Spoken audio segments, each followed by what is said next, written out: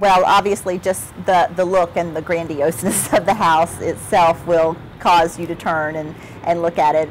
it. It just draws interest in just the beauty of the house and the uniqueness. It's very different than anything else that you see here in Blacksburg, and I think that was part of Alexander's uh, purpose. He wanted to, to do something a little different, a little bit unique.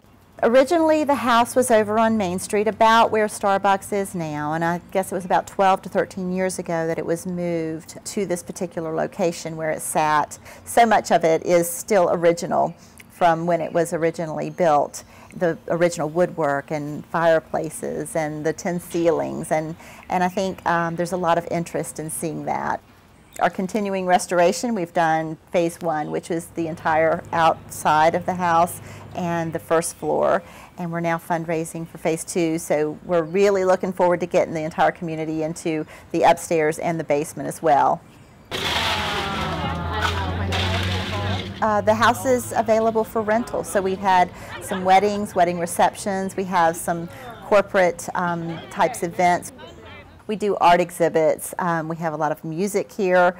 We do the old time jams during the winter when they're not down in the market. And we just try to really show Blacksburg's culture.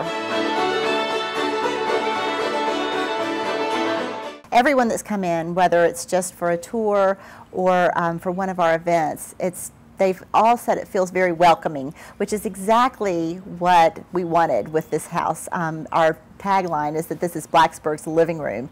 I think Alexander Black would love what's going on in this house. He was a very social man, and everything that we know about him. His house was on Main Street. There was a little seat wall in front. The cadets would stop on Sundays, and you know there would be conversation. There was always family and friends coming in, and they would have music and, and a lot of talking and dinners and those types of things. He was very social, so he really believed in community engagement, and so that's what's happening here now, and bringing it back to what it was originally originally, I think that he would very much be pleased with, with what's being done here now.